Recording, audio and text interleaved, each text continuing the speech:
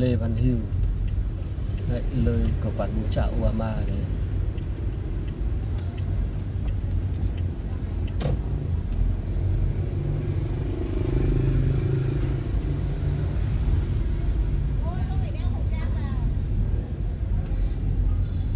Không biết quán bún chả Uama chỗ nào nhưng đường này.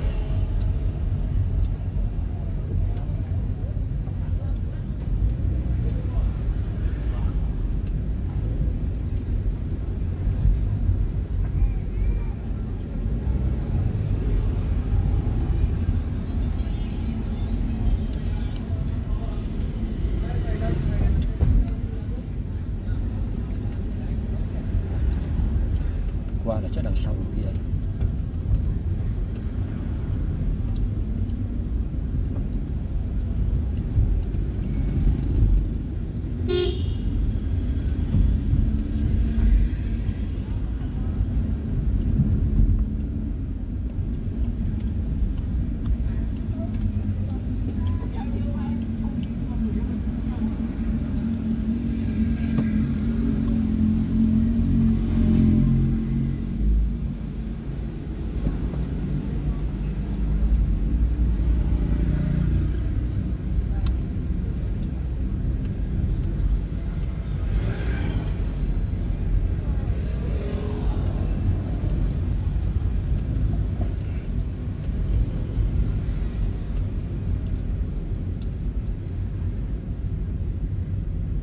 chắc là cầm ô tô đi ngược chiều rồi.